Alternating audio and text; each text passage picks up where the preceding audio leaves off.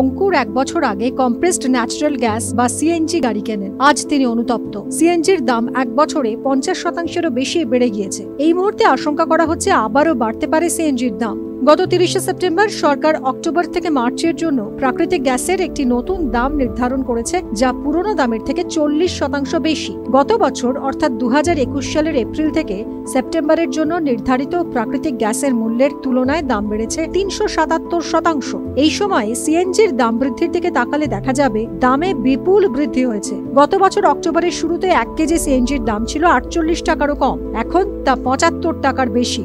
এখন প্রাকৃতিক গ্যাসের দাম চল্লিশ শতাংশ বৃদ্ধির পর সিএনজি আরও দামি হওয়ার সম্ভাবনা প্রবল। এই আশঙ্কার কারণে অঙ্কুর তার সিএনজি গাড়ি কেনার সিদ্ধান্ত নিয়ে অনুশোচনা করছেন। কারণ একে পেট্রোলের সঙ্গে তুলনা করলে দেখা যাবে এক বছর আগের তুলনায় দাম বাড়ার পরিবর্তে তা কমেছে। পিএনজি বা পাইপড ন্যাচারাল গ্যাসের দামও বছরে সিএনজির মতো একইভাবে বেড়েছে। প্রাকৃতিক গ্যাসের দাম বৃদ্ধির কারণে পিএনজির রেট আরও বাড়বে বলে আশঙ্কা করা হচ্ছে। তবে এই যন্ত্রণা শুধু পিএনজি আর সিএনজিতেই সীমাবদ্ধ নয় দেশের প্রাকৃতিক গ্যাসের প্রায় এক তৃতীয়াংশ খরচ হয় রিফাইনারি ও পেট্রোকেমিক্যাল শিল্পে। প্রায় একই পরিমাণ খরচ হয় সার শিল্পে। এছাড়াও বিদ্যুতের প্রায় আট শতাংশ খরচ হয় প্রাকৃতিক গ্যাসের দাম বাড়ার সঙ্গে সঙ্গে এই সমস্ত শিল্পের খরচ বাড়বে যা শেষ পর্যন্ত গ্রাহকদের পকেট থেকে মেটাতে হবে। দেশে ব্যবহৃত প্রাকৃতিক গ্যাসের প্রায় অর্ধেক আমদানি করতে হয় আর আন্তর্জাতিক বাজারে প্রাকৃতিক গ্যাসের দাম বেড়ে যাওয়ায় এবং টাকার দাম কমায় আমদানি ব্যয়বহুল হচ্ছে। ভারতে প্রাকৃতিক গ্যাস সরবরাহকারী রাশিয়ান সংস্থা গ্যাজপ্রম মে মাস থেকে সরবরাহ বন্ধ করে দিয়েছে। তাই ভারতকে তাদের নির্ধারিত মূল্যে অন্যান্য দেশ থেকে গ্যাস কিনতে হচ্ছে। চলতি বছর অক্টোবর এবং নভেম্বরে প্রাকৃতিক গ্যাস সরবরাহের জন্য ভারত যে দাম দিয়েছে তা গত বছরের তুলনায়